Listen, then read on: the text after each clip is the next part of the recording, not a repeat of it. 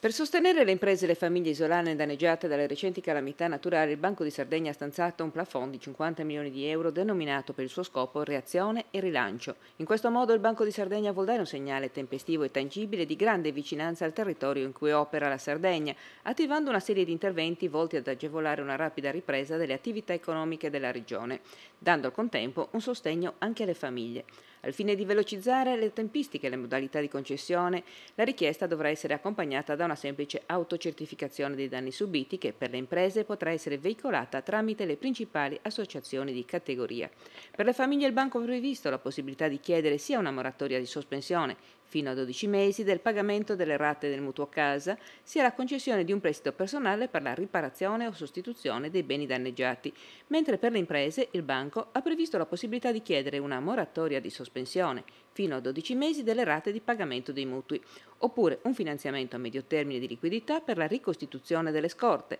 oppure la sostituzione e riparazione dei beni danneggiati o per qualsiasi altro intervento legato alla propria attività produttiva. I finanziamenti in questione non richiedono alcun tipo di garanzia ipotecaria e prevedono condizioni di tasso ridotte senza spese di istruttoria.